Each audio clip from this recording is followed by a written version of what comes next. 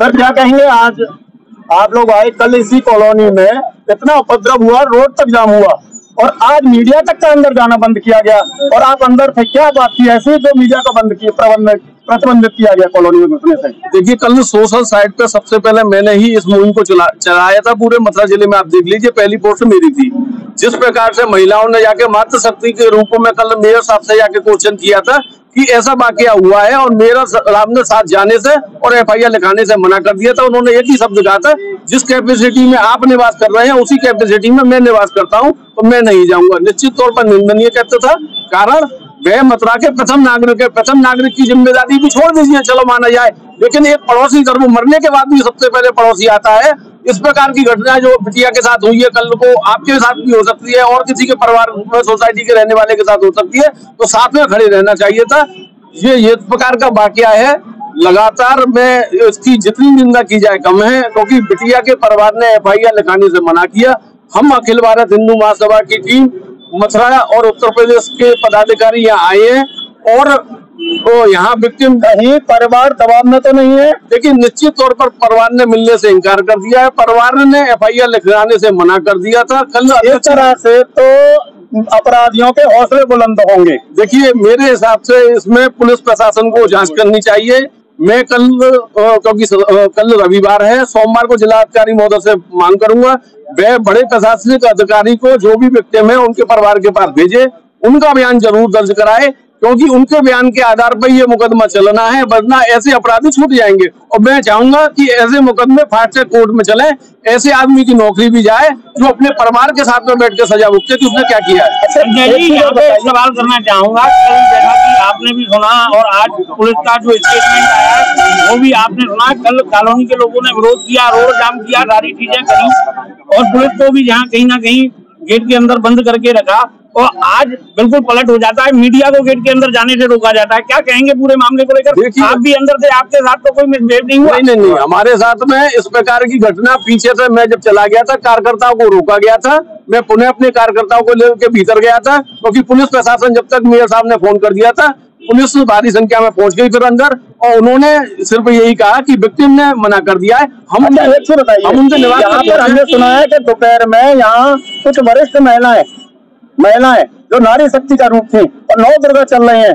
यहाँ मीटिंग होती है और फिर उस महिला के पास जाते हैं और उसके बाद ये पूरा खेल पलट जाता है। क्या कहेंगे ऐसे मैटर को लेकर? देखिए, कल का दिन आप देखेंगे तो कल रात को मात्र शक्ति ने ही इस घटना को यहाँ तक रोडों तक लेके आई थी।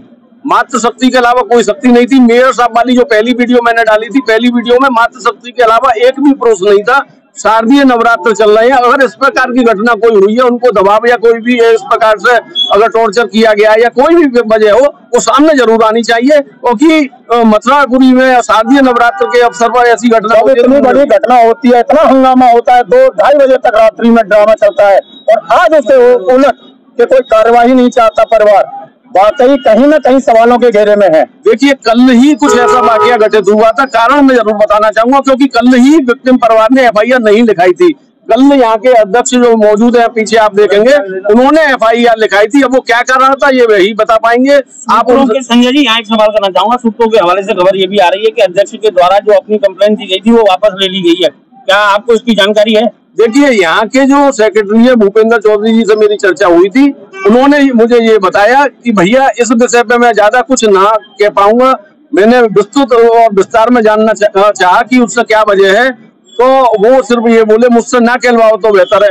इसीलिए मैंने मांग की है कि जिलाधिकारी महोदय एस एस पी महोदय एसपी सिटी के माध्यम से किसी को, ऐसे आदमी को यहाँ भेजे, क्योंकि विक्टिम परिवार का बयान ले, क्योंकि ऐसी कार्रवाई की निष्पक्ष जाँच ज़रूर होनी चाहिए, क्योंकि मैडम, क्या कहेंगे जो कल राधा आउटफिट में एक घटना होती है, और आज वही समय, वही टाइम आज उसके पलट, यहाँ पर मीडिया को प्रतिबंधित किया जाता है, और वही महिलाएँ जो कल रोड पर हल्ला कर रही थी आज कह रही है, हम कोई कार्रवाई नहीं चाहते। क्या कहेंगे ऐसे केस को लेकर? कल जो माहौल देखा गया है यहाँ, रात को ढाई बजे तक नारी शक्तियों ने हंगामा किया है। रोड तक पे उतर आई है। आज आज उनकी बच्ची के साथ ऐसा हुआ और वो चुप बैठी है। कल को किसी और बच्ची के साथ, अगर मानो अभी तो कुछ ऐसा हुआ नहीं है, मानो कुछ रेप वगैरह हो जाए तो ये लोग फिर चुप बैठ जाएँगे। इनको कोई वो नहीं है कि उनके बच्चे के साथ ऐसा हुआ है। तो मैं ऐसी नारी शक्ति से यही कहूँगी कि वो बाहर निकले और अपनी बेटियों की सुरक्षा करें। कल तो झांसी की रानी दुर्गा काली सब रूप देखे हमने माता सारे रूप आए थे। लेकिन आज वहीं पर नारी शक्ति जिस तरह से किसी समय पे कहा जाता था कि नारी शक्ति को दबा के रखा जाता वही माहौल आज देखने को मिल रहा है कि नारी शक्ति ही इस केस को वापस करा रही है। लोग यहाँ के वापस करा रहे हैं मीडिया का अंदर जाना बंद कर रहे हैं और पीड़ित से मिलने नहीं दे रहे। तो कहीं ना कहीं हम समझते हैं कि किसी न किसी के दबाव में परिवार है और इस तरह से शायद केस नहीं करना चाहता है। मैं शासन प्रशासन से यही मांग करूँगी कि ये दबाव में जो है उसको बाहर निकाल के लाएँ। आखिर ये क्या मैटर है जिससे ये इतना चुप है? ये बाहर खुल के क्यों नहीं बोल रहे? कल रोड पर हल्ला कर रहे थे। कल रोड पे लगा आज हम लोग आए हैं तो हमने जब उनसे पूछा घर भी वही था जिनने हमें घर बताया था घर भी वही था लेकिन वो लोग बाहर निकल के आए और वो मना करते हैं कि यहाँ कुछ मैटर नहीं हुआ था। तो जो आखिर क्या बात वीडियो है? रात के वीडियो थे सिर्फ़ पैसा कमाने के लिए फिर मैं उल्टा ही बोलूँगा। क्या पैसा कमाने के लिए कि किसी तरह से पैसे की व्यवस्था बन जाए? इसलिए हल्ला किया था रात को दो बजे तक। प्रशासन को और पब्लिक को परेशान किया था इन लोगों ने फिर। पूरी रात चला है ये मैटर। सुबह तक देखा है मैंने। तब जाके अष्टमी का दिन है कि कन्याओं के साथ ये व्यवहार हो रहा है। तो अभी तो और आएगा ये मैटर आगे। अभी कुछ नहीं है। अभी आगे और यही बढ़ेगा। इसी जगह बढ़ेगा। दीपक जी जी। दीपक जी, अगर इस प्रकार की घटना नारी शक्ति के साथ हुई है, भाजपा बेटी बचाओ बेटी के लिए जो अभियान, नारे का जो देती है स्लोगन, निश्चित रूप से अगर ऐसी घटना होती है और ये वाकया अगर इस प्रकार से दबाया जाता है, क्योंकि आपने देखा होगा वीडियो के माध्यम से कि कल केवल जब शुरुआत हुई थी तो नारी शक्ति थी। सारे जेंट्स कहीं ना कहीं अपने अपने कार्यों में लगे हुए थे, किसी का शोरूम है, किसी का बिज़नेस है, किसी का कुछ है तो वो अपने अपने कार्यों में थे। लेकिन आने के उपरांत ऐसा क्या हुआ कि उन महिलाओं पर प्रेशर प्रेशर बनाया गया? क्या भाजपा सरकार में 50 परसेंट आरक्षण की वो महिलाओं की वकालत करने वाली सरकार क्या ऐसी महिलाओं को दबाएगी? अगर वे ऐसी देखिए जी। मैं सीधा सीधा क्योंकि मैं दो ही चीज़ें जानता हूँ तीसरी मैंने सीखी नहीं है। या तो सत्य सामने आना चाहिए या फिर कुछ ना कुछ छुपाया जा रहा है देखिए हमने पहले भी कहा पुनः कहेंगे अगर यहाँ का प्रशासन उनके साथ न्याय नहीं करता है सच्चाई सामने नहीं आती तो है कार्रवाई जब करेगा जब कॉलोनी के या पीड़ित आदमी एप्लीकेशन देगा। मैं वही निवेदन करूँगा। रोड जाम करने से रोड जाम करने से या पब्लिक को परेशान करने से मीडिया को परेशान करने से प्रशासन को परेशान करने से क्या हल हो जाएगा बिना एप्लीकेशन के? मैं वही निवेदन कर रहा हूँ। एप्लीकेशन अगर विक्टिम नहीं देगा तो हम लोग कमिश्नर के पास एक एप्लीकेशन भेजेंगे क्योंकि एविडेंस सामने है। वीडियो बनी है, कल यहाँ का वातावरण सबने देखा है, वे वीडियो जाएँगी। कम से कम न्याय अगर होना चाहिए तो सत्य सामने ज़रूर आना चाहिए। अच्छा एक चीज़ और मैं पूछूँगा।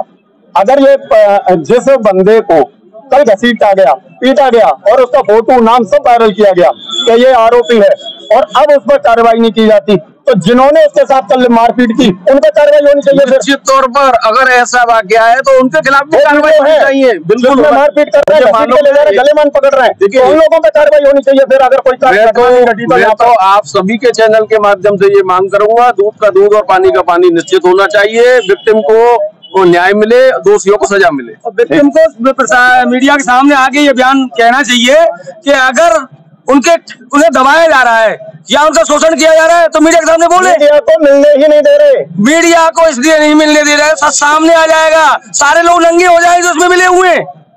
इसीलिए उन्हें दबाया जा रहा है। आज वो मिलने के लिए तैयार नहीं है। कल जो परिवार रोड पे आके धरना देता है महिलाएँ आती हैं बवाल करती हैं आज वही नहीं मिलना नहीं मिलना चाहते आपसे मीडिया को गेट पर रोक दिया जाता है। जो भी हिंदुवादी लोग आ रहे हैं उन्हें ये कह दिया जाता है वो मिलना नहीं चाहते।